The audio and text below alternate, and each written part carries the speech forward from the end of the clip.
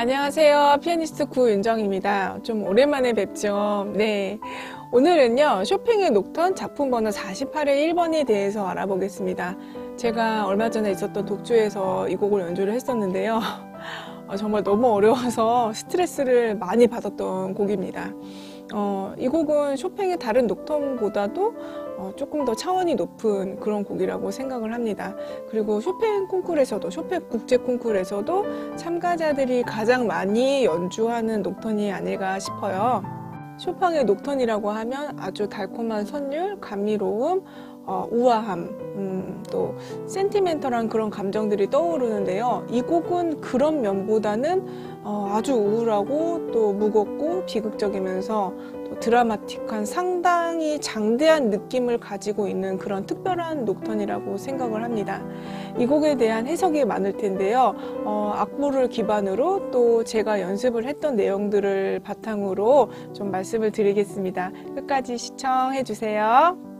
네, 이 곡은 A, B, A 다시 이런 형식으로 되어 있고요. 템포 marking을 보시면 파트 A는 렌토, 아주 느리게, 어, 파트 B는 poco più lento, 조금 더 느리게. 그러니까 렌토보다 조금 더 느린 템포이죠. 어, 그리고 마지막 A 다시는 doppio movimento, 두 배의 빠르기로. 그러니까 맨 앞에 A보다 두 배의 속도로 빨리 치라는 뜻입니다. 저는 첫 시작에 템포를 정하기가 참 어려웠었거든요.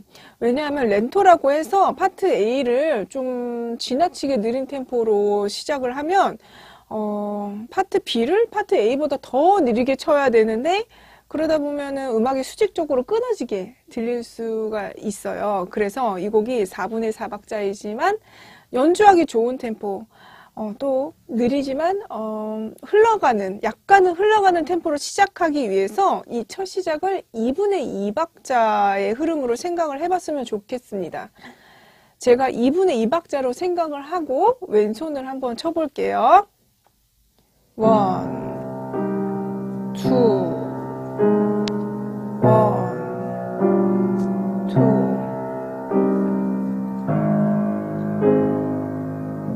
네, 이 생각을 안 하시고 그냥 아주 느리게 렌토만 생각하고 치시면 템포를 잘 끌고 나가기가 좀 힘드실 거예요. 음악이 좀 처지게 될 수가 있거든요. 그래서 슬프게 우울하게 이런 감정만 가지고 이 곡을 접근하지 마시고 이런 템포에 대한 계획을 가지고 왼손 연습을 따로 하시면 도움이 되실 거라고 생각합니다. 네, 제가 첫 프레이즈를 한번 쳐보겠습니다.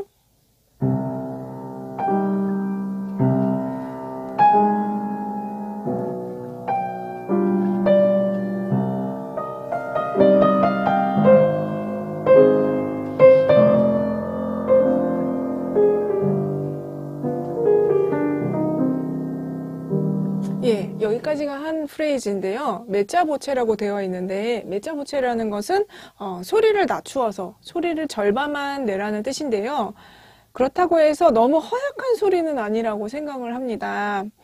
그리고 이 조성이 C 마이너이기 때문에 첫 시작이 어느 정도 무게감이 있게 어, 연주를 해주시면 좋을 것 같아요. 그래서 이 왼손의 C 옥타브를 좀 깊은 터치로 시작을 해보세요. 손목에 힘을 빼고 건반 안으로 이렇게 밀어 넣듯이요.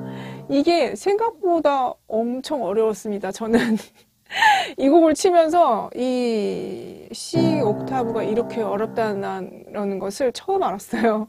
이게 아무것도 아닌 것 같지만 어, 진짜 어렵기 때문에 이 감각을 굉장히 집중해서 연습을 많이 하셔야 돼요. 네. 그리고 오른손 라인을 살펴보실게요.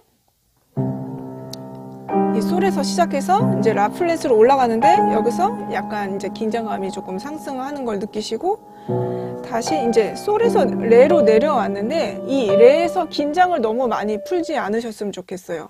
그러니까 솔에서 레를 너무 딥랜도를 많이는 하지 마시고 그냥 예, 유지를 하고 그 다음에 16분음표 선율, 선율의 이 첫음 이 플랫에서 조금 여리게 시작해서 여기까지 조금 약간의 크레센도를 해주시고 그 다음에는 디미누연대로 섬세하게 끝 처리를 해주시면 좋을 것 같아요. 네. 근데 이제 제가 지금 설명드린 이 오른손 노래하는 방법은 딱 한 가지만 있는 것은 아니에요. 어, 노래하고 호흡하는 타이밍과 어, 그리고 이제 소리가 사람마다 당연히 다 다르기 때문에 참고만 해보시라고 말씀드린 거니까요. 이런 방향을 기본으로 가지고 연습을 하시다 보면 각자 본인만의 노래가 탄생이 될 것이라고 생각합니다. 네. 두 번째 프레이즈는 메이저 코드로 시작을 합니다.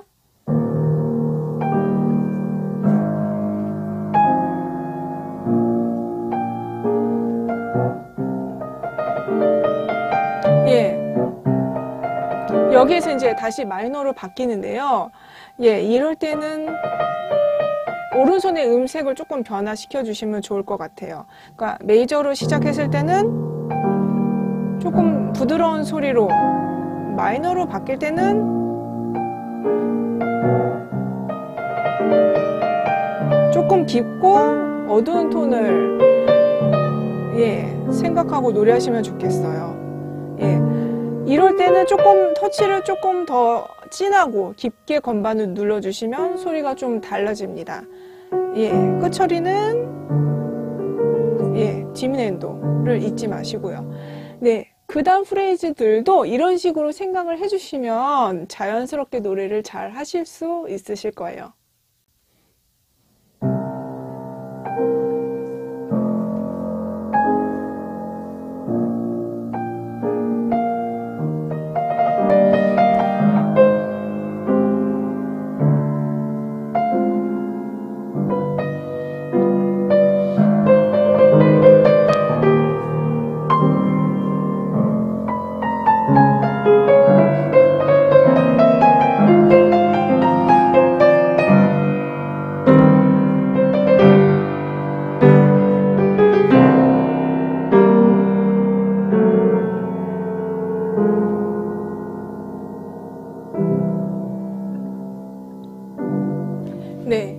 A가 매우 비극적으로 마무리가 되면서 파트 B로 넘어왔어요. 파트 B는 이제 major로 전조가 되었는데요. 파트 A가 고통스러운 현실이었다면 파트 B는 행복했던 과거를 회상하는 그런 느낌을 가지고 한번 시작을 해보세요. 그러면 파트 B의 첫 코드를 여기를 진짜 특별한 소리로 연주를 하실 수 있을 거예요. 예, C 마이너 예, C 메이저. 음 하나 바뀌었을 뿐인데 앞부분과는 너무나 큰 대조가 있는 정말 경이로운 순간이라고 저는 생각합니다. 네, 그래서 파트 B는 이제 코랄, 합창곡 같은 느낌을 상상하면서 연주하시면 좋을 것 같아요. 그래서 이제 소토보체이지만 이 코드들이 되게 풍성한 울림이 될 수 있도록 릴렉스를 진짜 잘 해주셔야 돼요. 예. 여기는 이제 소프트보제 피아니시모라서 어 저는 소프트 페달을 밟고 시작을 했다가 이 옥타브 세디단 음표 여기가 이제 시작될 때쯤 슬쩍 이제 우나콜다를 떼었어요. 그리고 앞에서도 말씀을 드렸지만 파트 B는 조금 더 느린 템포로 연주를 하셔야 돼요. 그래서 이럴 때는 진짜 16분 음표로 정확하게 박자를 마음속으로 채는 게 정말 중요합니다.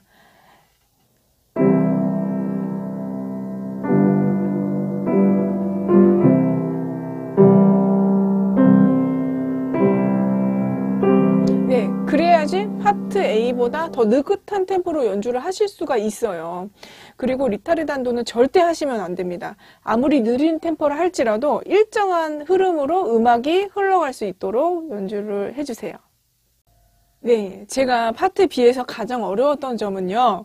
왼손 아르페지오를 부드럽게 굴리면서 이 오른손의 소프라노를 잘 연결하는 것이었는데요.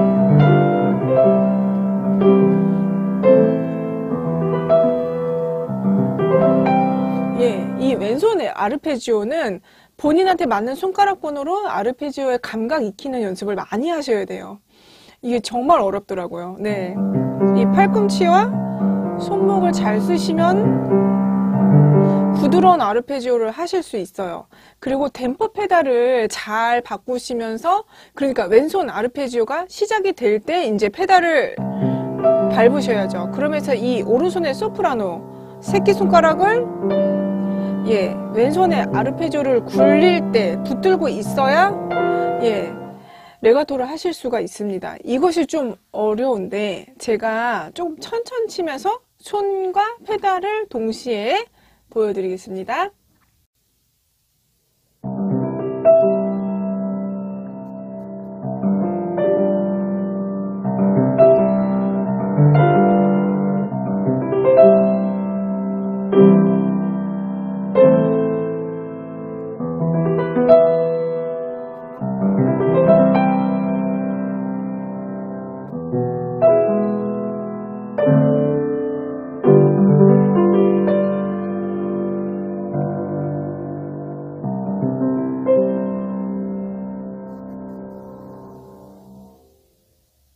네, 이런 식으로 연습을 하시면 페달도 깨끗하면서 오른손의 소프라노를 잘 연결하실 수가 있습니다. 꼭 천천히 연습을 해보세요. 네.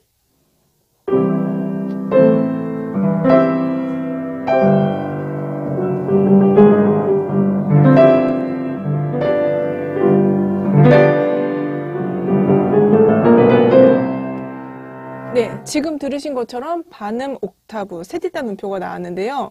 이 세디따 음표 패시지가 나오기 전에는 아주 평화로운 합창 같은 느낌이었는데 이 고요함과 평화를 깨뜨리는 그런 긴장감이 가득한 패시지가 나왔어요. 음, 이 패시지는 파트 B가 처음 시작했을 때 이 부분과는 아주 큰 대조를 이 나타내는 그런 캐릭터예요. 그래서 이 옥타브 패시지들을 테크니컬하게 기계적으로 연주를 하시면 안 되고요. 그런 그냥 분위기를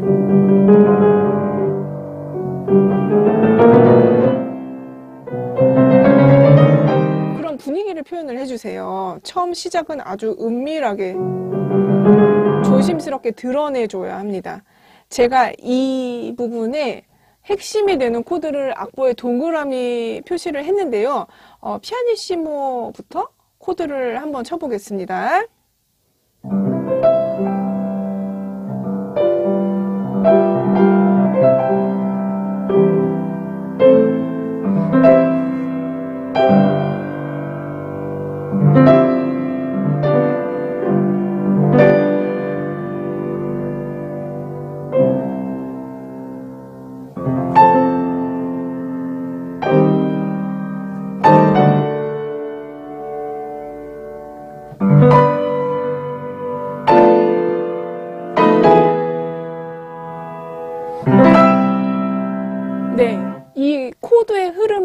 하시고 옥타브 패시지들을 칠 때 크레셴도를 얼마만큼 할 것인가를 조금 계산하는 연습을 해보시길 바랍니다.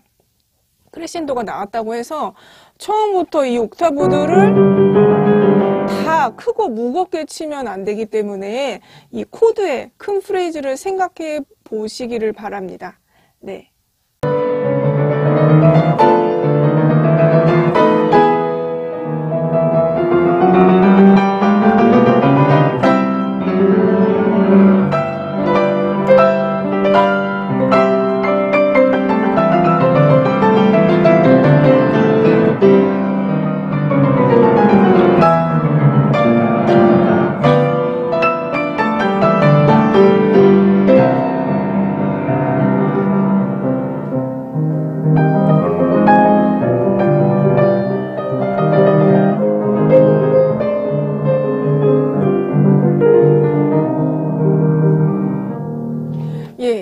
드디어 마지막 부분인데요. 이 곡을 쳐보신 분들은 아시겠지만 여기가 녹턴인지 에뛰드인지 헷갈리는 부분입니다. 왼손에서 이제 점프 도약이 계속 나오고 음정 간격이 넓은 코드들끼리 레가토를 정말 잘해야 되거든요. 그것도 피아니시모로요. 더 정확하게 말씀드리면 피아니시시모이죠. 그래서 여기는 왼손을 진짜 천천히 연습을 많이 하시는데 중요한 거는 이 코드들이 연결이 되는지를 꼭 들으시면서 연습을 하시길 바랍니다. 저도 이 부분 왼손이 정말 어려웠어요. 손에 붓기까지 아주 오랜 시간이 걸렸습니다. 그리고 또 여기가 왼손만 어려운 게 아니죠. 이 부분에 오른손이 이제 파트 A에서 나왔던 이제 멜로디가 반복이 돼요. 그래서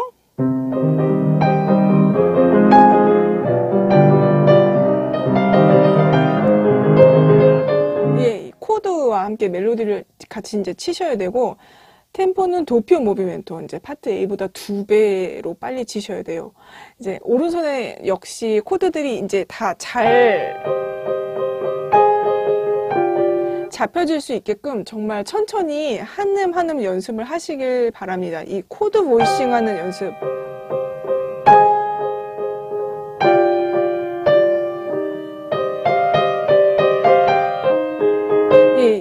이 멜로디가 소프라노이니까 손의 포지션을 오른쪽으로 이렇게 잘 젖혀서 예, 멜로디가 뚜렷하게 내성이 가볍게 소리가 날 수 있도록 해주시면 되겠습니다. 네, 여기 아지타토라고 적혀져 있는데요. 아지타토의 의미를 아시나요? 아지타토의 의미는 이제 불안한 느낌, 쫓기는 느낌, 막 숨이 찬 그런 느낌을 표현을 하는 거예요. 그래서 이 반복되는 어, 세디타 눈표가 그 느낌을 표현을 하는 건데 여기서 주의하셔야 될 점이 절대로 크레센도를 하시면 안 돼요. 이게 크레센도를 하기가 너무 쉬운 게 이 부분을 치다 보면은 감정이 너무 격해지기 때문에 막 이렇게 막 울렁거리게 점점 본인도 모르는 사이에 크레셴도를 할 수가 있거든요. 그래서 이거를 정말 컨트롤을 하셔야 됩니다.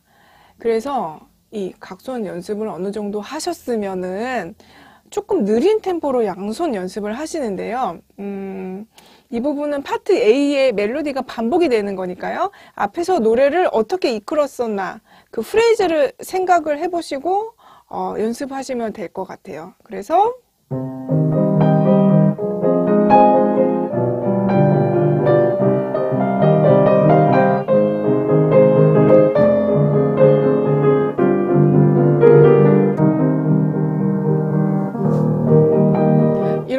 되게 차분하게 어, 중간 템포에서 연습을 많이 한번 해보세요.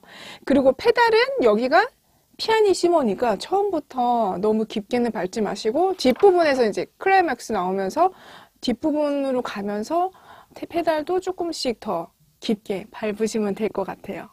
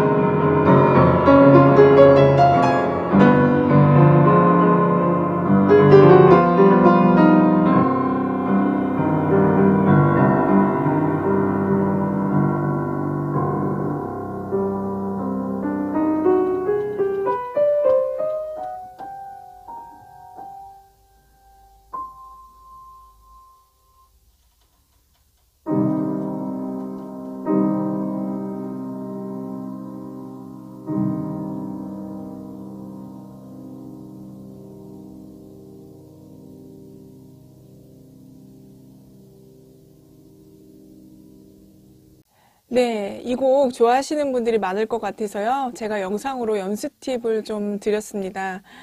어, 저도 연주 준비하면서 이 곡으로 인해서 행복하기도 하고 잘 치고 싶은 욕심에 어, 괴롭기도 하고 그랬었어요. 이 곡은 워낙 어려운 곡이기 때문에 어, 연습한 만큼 안 된다고 이렇게 낙심하지 마시고요. 어, 꾸준히 연습을 하시다 보면 언젠가는 훌륭한 연주를 하실 날이 올 거라고 믿습니다. 네, 시청해 주셔서 감사드리고요. 어, 건강 조심하세요. 저는 또 다음 시간에 영상으로 찾아뵙겠습니다. 안녕히 계세요.